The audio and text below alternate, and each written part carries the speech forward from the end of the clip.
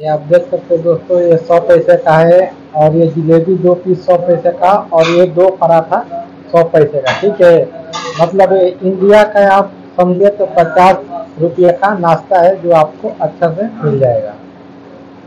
तो दोस्तों, नमस्कार, सलाम वालेकुम आप लोग को मालूम होगा कि मैं अभी ओमान में रहता हूँ दोस्तों और अभी यहाँ पे सुबह का टाइम है। इसके लिए हम अभी जा रहे हैं नाश्ता करने के लिए। क्योंकि यहाँ पे सब दुकान नौ बजे तक बंद रहता है, ये आप लोग देख सकते हो। और सिर्फ़ यहाँ पे नाश्ते के लिए कोई दुकान बंगाली या पाकिस्तानी भाई जो सुबह खोलते हैं नाश्ते के लिए, ठीक है? और यहाँ पे सब दुकान अभी आप लोग देख सकते हो, सब दुकान यहाँ पे बंद है दोस्तों। ये आप लोग दुकान देख लीजिए दोस्तों। ये सब दुकान नौ बजे तक, कोई साढ़े नौ बजे तक खुल जाएगा। ये यहाँ का रेस्टोरेंट है।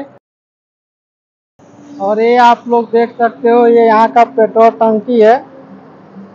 जो ये आप लोग देख सकते हो, ये पेट्रोल टंकी है। और ये जो बस जा रही है, सुबह सुबह चल रही है, ये यहाँ का स्कूल बस है। ठीक है दोस्तों? अभी यहाँ पे सब दुकान फ़िलहाल में बंदी है नौ दस बजे खुलेगा। और ये यहाँ का जो लाइन से देख रहे हो, ये यहाँ का टैक्सी है, ठीक है? ये आप लोग देख लीजिए। अभी चलते हैं, किसी दुकान पे चल के देखते हैं, वहाँ नाश्ता कितने रुपए का मिलता है। और आप लोग ओमान आ रहे हो तो आप लोग को भी मालूम चल जाएगा यहाँ पे कितना महँगाई है, कितना नहीं। तो आप लोग पहले यहाँ का आप लोग ये रोड देख लीजिए, रोड देख लीजिए यहाँ पे कितना चौड़ा है। ये आप लोग देख सकते हो, ये जितना बीच में बस गार्डन है ना उतना तो हमारे यहाँ रोड भी चौड़ा नहीं रहा। और आप देख सकते हैं दोस्तों, वहाँ से लेकर और ये देख लीजिए, यहाँ तक कितना रोड चौड़ा है।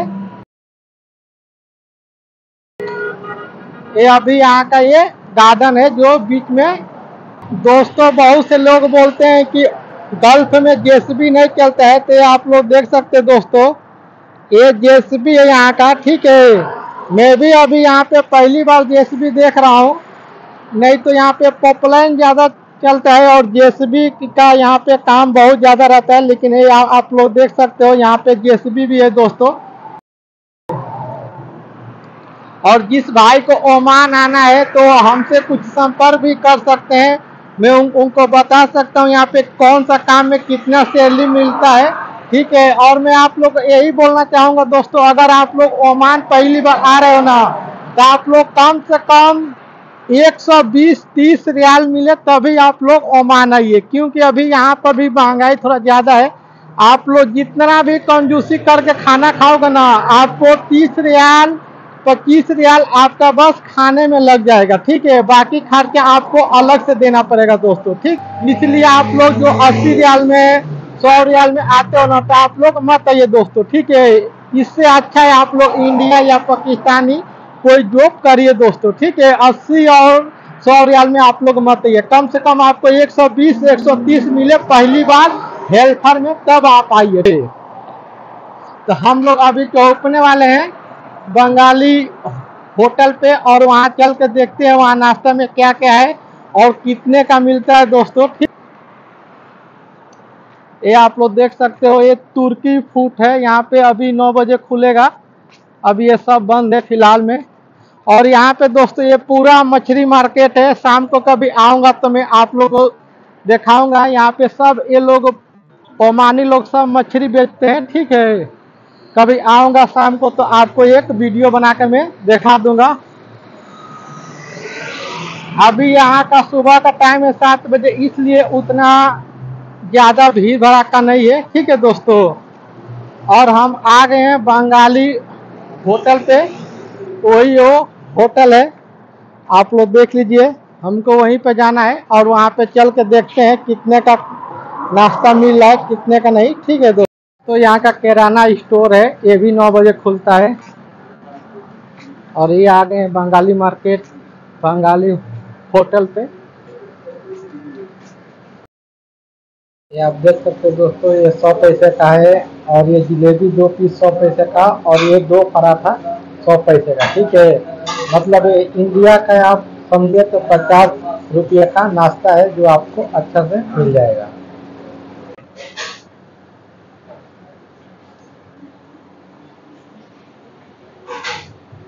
यहाँ का लिस्ट है।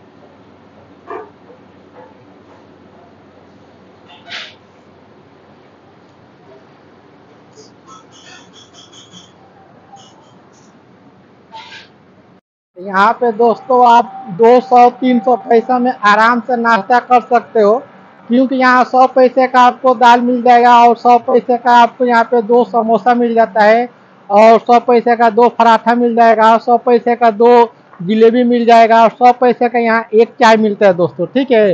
तो यहाँ नाश्ता करने के लिए अभी बहुत सस्ता है, ठीक है? कम से कम इंडिया का पचास रुपये रहेगा ना तो आप यहाँ पे एक टाइम नाश्ता कर सकते हो, ठीक है? और आपको अगर एक रियाल है तो आप एक दिन का खाना आप होटल में खा सकते हो, दाल रोटी। ठीक है, दाल रोटी या चावल खा सकते हो। और आपको बिरयानी खाना है या मटन खाना है, कुछ भी खाना है तो आपको एक रियाल लगेगा। मतलब आपको एक टाइम का खाना अच्छा खाते हो, बिरयानी खाते हो या मछली या कुछ भी तो आपको एक टाइम का एक रियाल लगेगा। तो मतलब इंडिया का आपको 200 रियाल मत सॉरी दोस्तों, आपको इंडिया का 200 रुपया लग जाएगा, ठीक है, खाने का। और आप रूम पे खाना बना के खाते हो तो आपको 25 से 20 रियाल में आपको खाना यहाँ पे आपका एक महीना चल जाएगा दोस्तों। मेरा चैनल खास तौर पे फ्रॉड ऑफ़िस और फ्रॉड एजेंट के खिलाफ में वीडियो ज़्यादा बनाता हूँ।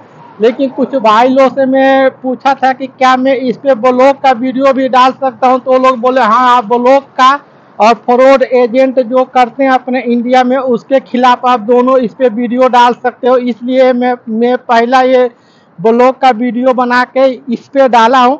अगर ये ब्लॉग आपको अच्छा लगा हो तो आप लोग मेरे चैनल को सब्सक्राइब कर सकते हैं। दोस्तों वीडियो देखने के लिए धन्यवाद दोस्तों।